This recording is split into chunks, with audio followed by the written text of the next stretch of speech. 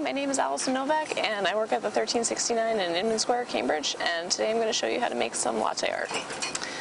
Um, we're going to start by grinding some espresso.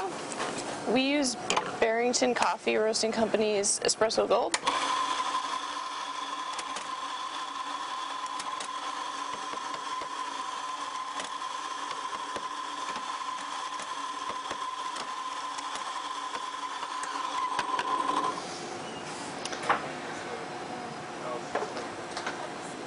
They recommend dosing 18 grams for a double shot, and you want to evenly distribute it. Tamp lightly to polish, knock the extra grounds in, tamp with 30 pounds of pressure and twist so it's all polished and even. And you're going to start to brew it right away.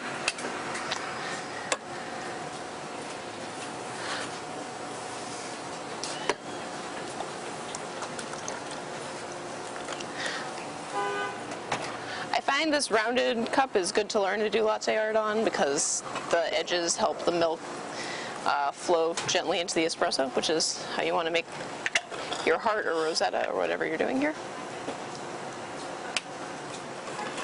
So now we're going to steam some milk. You want to let a little air in, but not too much. Because you don't want any large bubbles in here when you're done. You want to let the steam whip the milk around with a little bit of air.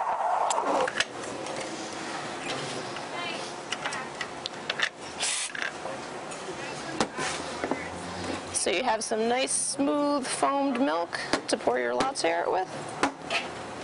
And then I'm gonna pour down the side, take that white stuff, go back and forth a little bit and pull it through. And you have a rosetta. And we can also do a heart, which is a little simpler.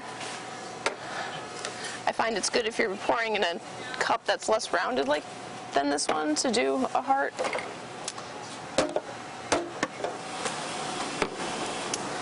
Again, your milk is nice and smooth with no big bubbles. It's still got foam on top. You'll be able to see it settle to the top after we're done pouring the latte. So a heart, you just kind of stay in the middle and pull through.